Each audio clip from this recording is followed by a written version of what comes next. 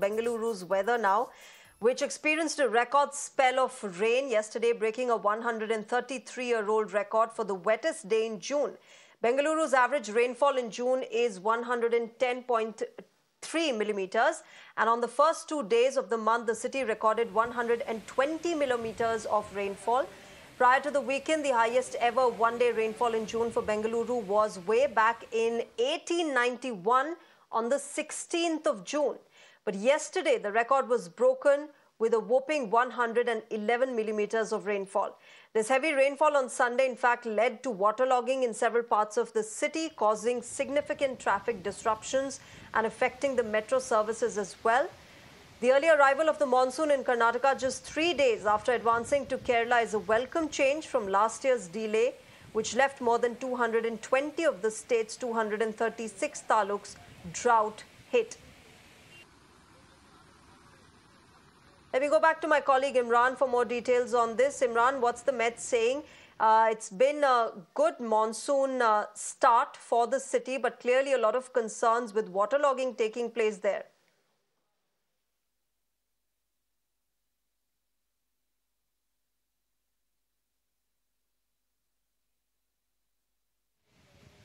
All right, we'll try and reconnect with Imran, but uh, remember Bengaluru experiencing a record spell of rainfall yesterday. The city has in fact broken a 133-year-old record for the wettest day in June. This, remember, also comes amid the fact that several parts of northern India are under intense heat wave.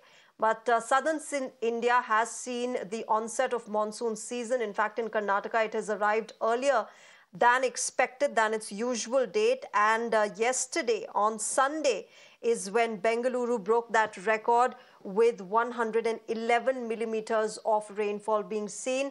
But uh, even as this, uh, this brings in a lot of uh, relief for Bengalurians in terms of temperatures dipping, it also has a lot of concerns, as you can see on the visuals that uh, there has been waterlogging, there has been uh, traffic disruption, metro services have been affected due to this unprecedented heavy rainfall.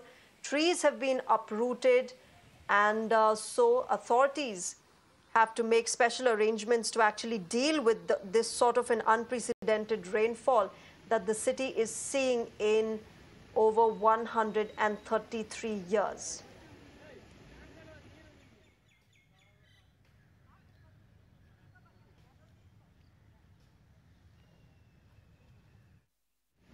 My colleague Neha is joining us with more on this. Neha, uh, good news for the city of Bengaluru with the kind of rainfall we're seeing, record-breaking, unprecedented rainfall, but simultaneously a lot of concern as well, traffic disruption, water logging and metro services being uh, affected due to this.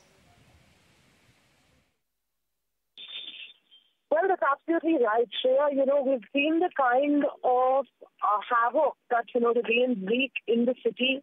And yet again, even as Bengaluru, of course, you know, was uh, breaking records there with its rain, we're seeing now that, you know, the southwest monsoon, of course, has set in over the Karnataka coast. There's been intense thunderstorms, heavy rain, especially in Bengaluru city. But that's obviously brought the city down to its knees. We're seeing waterlogging was reported in several parts of the city. There were tree falls reported not just on the roads, but in fact even the metro line, the purple line was disrupted owing to a tree fall on the track. And, you know, while of course you have the authorities saying that they are preparing themselves, that they are geared up to tackle the rains this time around, what the city witnessed yesterday was, you know, a complete stark contrast to what the authorities are saying. We'd hope that, you know, of course, given the next couple of days of heavy rain, at least that the authorities are able to do the best they can to ensure that people aren't inconvenienced.